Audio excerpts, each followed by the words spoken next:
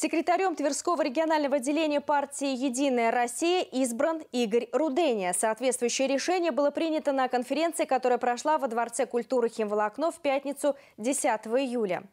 В мероприятии приняли участие более 100 делегатов от правящей партии, в их числе депутаты Государственной Думы Российской Федерации Сергей Веремеенко и Светлана Максимова, член Совета Федерации Андрей Епишин, а также председатель Законодательного собрания Тверской области Сергей Голубев.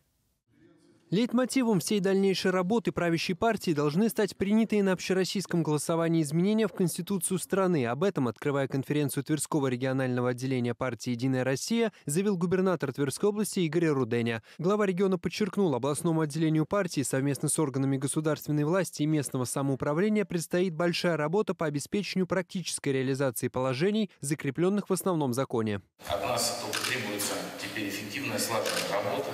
Очень важно, чтобы каждый человек был на своем месте, потому что когда человек участвует в работе, и не только физически, но и душой, и своими убеждениями, это лучший показатель, это лучшая мотивация а, в каждой а, конкретной работе, в каждом конкретном направлении.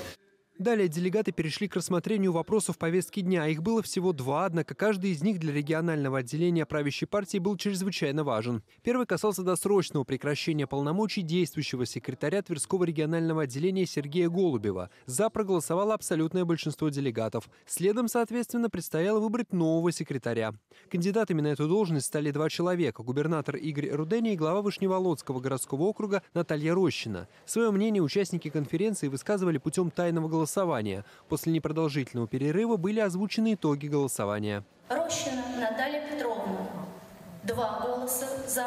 Руденя Игорь Михайлович. 110 голосов. Счетная комиссия просит утвердить протокол номер три. Таким образом, вновь избранным секретарем Тверского регионального отделения партии «Единая Россия» стал Игорь Руденя. Комментируя итоги голосования, глава региона заявил, что избрание на эту должность – это показатель огромного доверия коллег по партии, необходимость вести системную работу по продвижению партийных проектов, по развитию инфраструктуры, поддержке семьи и других. И, конечно, это большая ответственность перед жителями Тверской области, считает губернатор.